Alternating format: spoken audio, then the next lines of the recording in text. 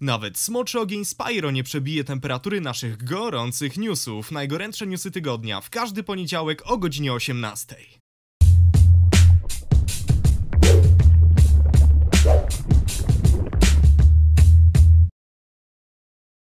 O spektakularnej porażce Bethesdy w związku z Falloutem 76 nie trzeba zbyt wiele mówić. Gracze tej sieciowej produkcji na każdym kroku spotykają się z rozmaitymi bugami, których obecność w grze AAA jest zdecydowanie karygodna. Dobrym przykładem jest jedno z ostatnich doniesień. Gracz w wyniku błędu stał się dosłownie nieśmiertelny. Nawet pocisk atomowy był mu niestraszny. Naturalnie taki błąd psuje całą zabawę, w wyniku czego gracz na Twitterze postanowił poprosić twórców o śmierć swojej postaci. Pytanie za 100 punktów. Co robimy, gdy zakupiona przez nas drukarka jest zepsuta bez możliwości szybkiej naprawy? Zwracamy ją do sklepu. Tak właśnie zaczęli postępować zażenowani gracze. Początkowo deweloper nie mógł pogodzić się z takim stanem rzeczy, przez pewien czas negatywnie rozpatrując reklamacje nabywców. Warto wspomnieć, że gra jest dostępna wyłącznie na autorskiej platformie dystrybucyjnej Bethesdy. Ostatecznie jednak przełamał się i zgodził na zwrot gotówki, nawet jeśli gracze spędzili z grą ponad dwie godziny,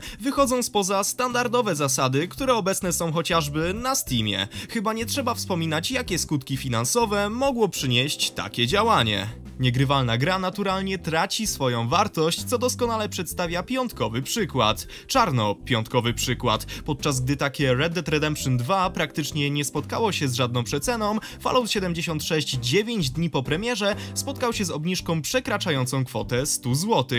Werdykt rynku w sprawie gry jest jasny. Nawet jeśli twórcy uporają się z falą błędów, to i tak nie zdołają zachęcić do niej graczy.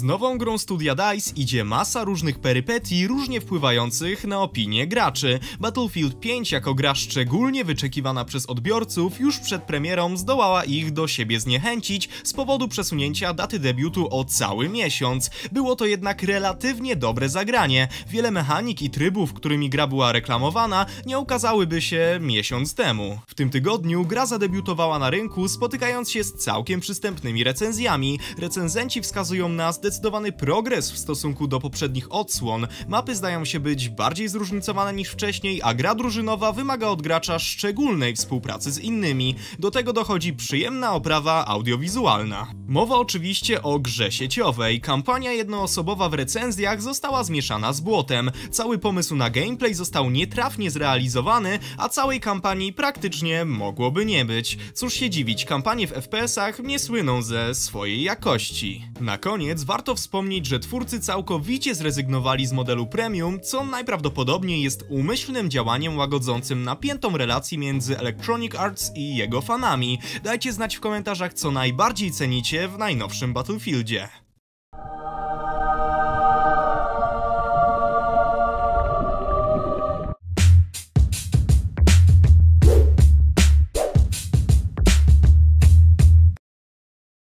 Czasów dzieciństwa szczególnie pamiętam momenty, w których rodzice szli na zakupy i ku mojemu szczęściu zostawiali mnie w specjalnej strefie dla dzieci. Poza masą zabawek, dzieciaków, a nawet wielkiej rury do zjeżdżania, zawsze natykałem się na obiekt westchnień łzawych pożegnań oraz ogólnego uwielbienia. Pierwsze PlayStation wraz z grą Spyro. Pora na powrót do czasów dzieciństwa, bowiem na rynku zadebiutowała zremasterowana wersja gier z serii Spyro, czyli Spyro Reignited Trilogy. Dzieło studia Toys for Bob, wydawane przez Activision na PS4 i Xbox One, stało się jednym z najbardziej wyczekiwanych punktów na liście tegorocznych premier. Prosta platformówka o fioletowym smoku została stosunkowo wysoko oceniona przez graczy i recenzentów. Na plus wychodzi przede wszystkim fenomenalna oprawa graficzna, obfitująca w kolory i zaskakujące detale. Nowa produkcja odrzuca stare, archaiczne elementy charakterystyczne retro, oferując m.in. całkowicie nowe sterowanie, nie licząc tańcząc z tego pod wodą.